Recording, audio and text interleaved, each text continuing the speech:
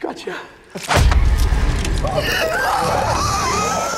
Guillermo del Toro's Cabinet of Curiosities comes as a treat for the fans who have waited so long for a decent horror anthology to come their way. The horror veteran brings in eight delightful episodes that deal with unexplained and supernatural stuff, and with Guillermo del Toro in charge, you can be sure to get some creature features and Lovecraftian elements along the way. After the haunting first episode, we now bring you the second, titled Graveyard Rats, and we will break down the episode for you while exploring the twisted creatures that you will find here. Beware of a few spoilers going ahead. Before we go into our explanation, we have a very small request. If you like our content, please support us by subscribing to our channel. This is a small click for you, but for us it means a lot. Thank you, and let's begin.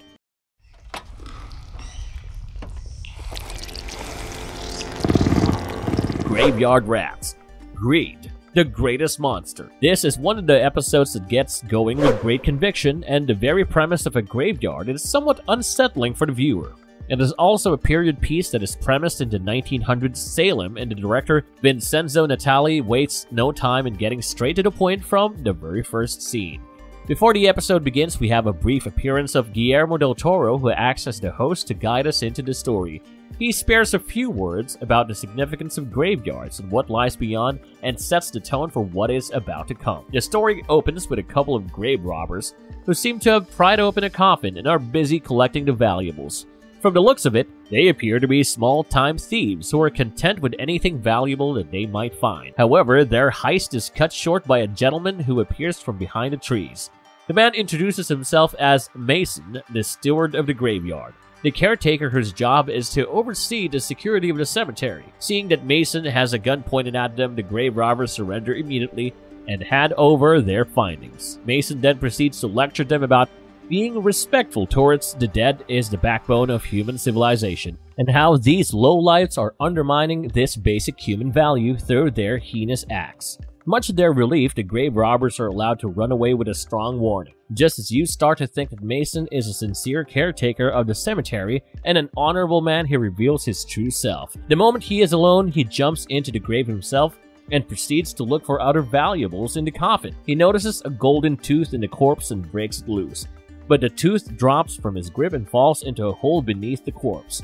As he tries to reach into the hole, Mason is bitten by a rat and he gives up his pursuit. It becomes clear that Mason is simply a loudmouth and all his reverence toward the dead is just a show. Later, he brings the valuables from the grave to a man. This guy seems to mean business and he is the one who allows Mason to be in charge of the cemetery business. However, he also needs the returns to be substantial and we learn that Mason has been failing to deliver for quite some time now. Robbing the graves and digging through the valuables of the dead seem to be his only way of making money and paying up. The man dismisses the findings of Mason once again and remarks how time is running out for the caretaker. He warns Mason of dire consequences if he fails to pay up in quick time. Mason tries to reason with him, trying to explain how the rats have become a real nuisance in the graveyard, pulling the corpses underneath the surface but the man doesn't seem to care much for excuses. He gives Mason a week to find suitable riches, failing which he would find himself in one of the coffins. Now, the caretaker is cornered and seeks desperate measures. One of his old acquaintances, Dooley, works with the coroner and Mason pays him a visit.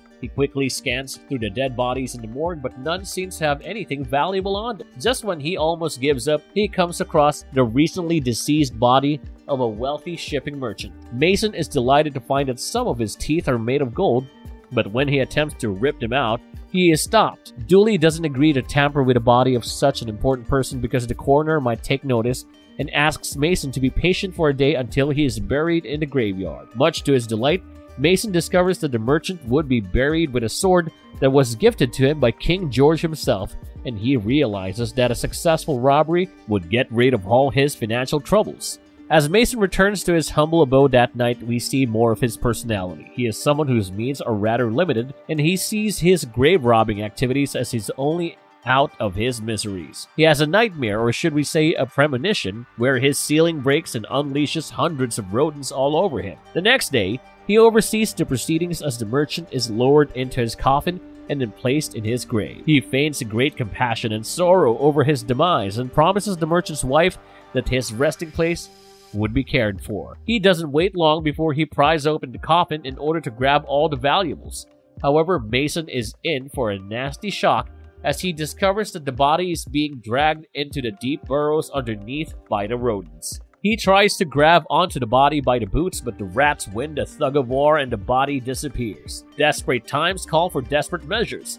Mason realizes that failing to retrieve the dead body of the merchant might well mean his own death, and takes the leap of fate as he decides to step into the elaborate tunnel networks. These are dark and narrow stretches burrowed by the rats over the years, and Mason barely fits through the underground tunnels. He is armed with his pistol and his flashlight, which is obviously the only source of light in this sea of darkness. He struggles with his fear and claustrophobia, but his journey soon gets a lot worse than he could anticipate. Hundreds of rats charge at him all of a sudden, and the poor grave robber is shocked to his wits.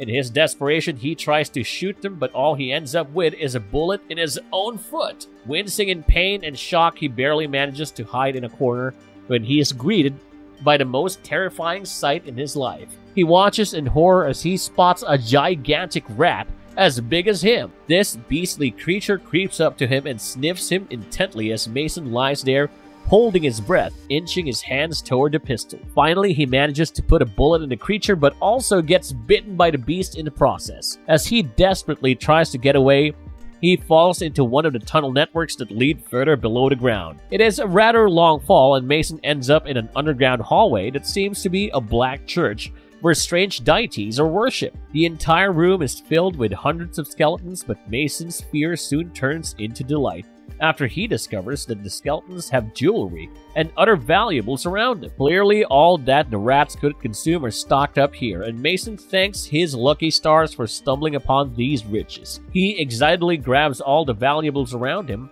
when suddenly his eyes spot a strange deity with a tentacled face and wings on its back. On the opposite side of the deity, there is a devotee with folded hands, but the devotee is simply a rotting corpse that has almost become like a statue. What catches his attention is the gold pendant on the neck of the devotee, and this brings us to one of the most shocking moments in the episode. Just as Mason rips out the pendant from the devotee, the corpse wakes up and tries to get it back. The grave robber is in shock, but he still tries to get away with all that he has gathered and stumbles out of the passageway. The zombie-like devotee continues to be in pursuit, but Mason is a lot faster. Just as you think he can get away, the gigantic rat appears once again from the opposite direction. He is trapped with nowhere to escape, but once again, he gets a lucky break after he successfully triggers a landslide within the tunnel. A massive rock drops on the giant rat, smashing it to death, and the corpse of the devotee gets trapped under the debris. Throughout his ordeal in the tunnel network, Mason keeps praying to God for respite.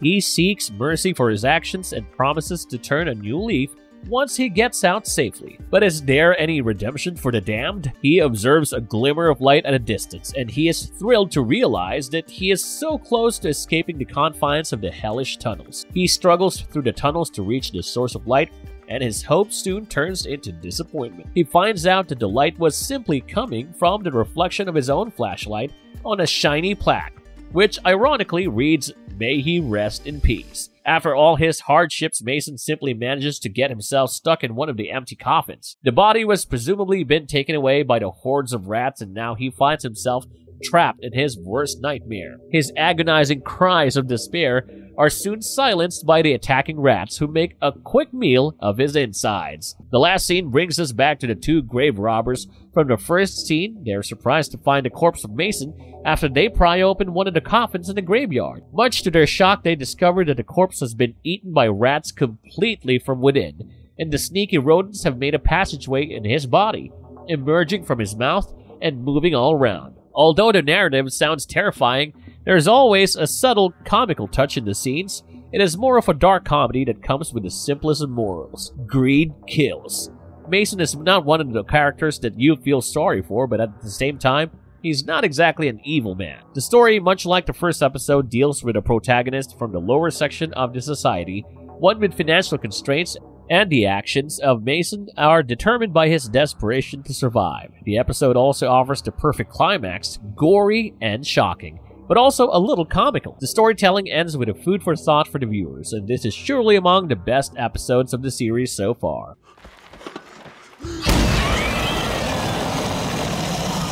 Exploring the creatures, giant rats, and undead corpses. This episode wouldn't have been half as delightful without the amazing creature effects.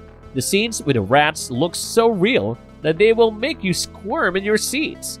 The giant rat is a sight to behold, and it looks adequately menacing. It is just as big as Mason, if not bigger, and the long, sharp fangs do not conceal how dangerous the creature is.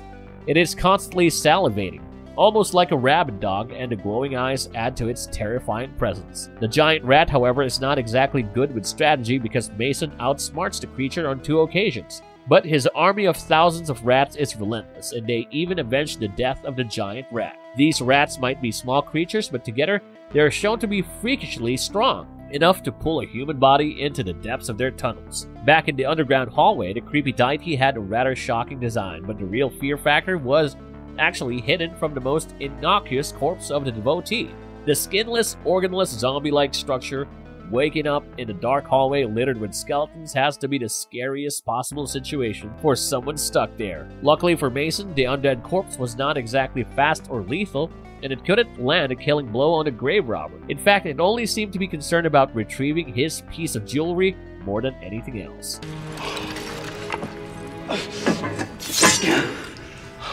Is Mason's greed the primary monster? If we had a dollar for every time a monster story is actually about the evil within humans, we wouldn't be eating Pop-Tarts for dinner. Jokes aside, this is not one of those stories where you have to struggle to find the morals. The narrative clearly highlights that the extreme greed and desperation of the protagonist brought about his downfall, and a lot of the elements in the storytelling are simply metaphorical representations of the monsters within Mason. He chose the despicable act of dishonoring the dead, and his senseless actions eventually bring about his tragic death. Yes, the graveyard rats are the agents to bring him his fate, but he did write it himself through his actions choices.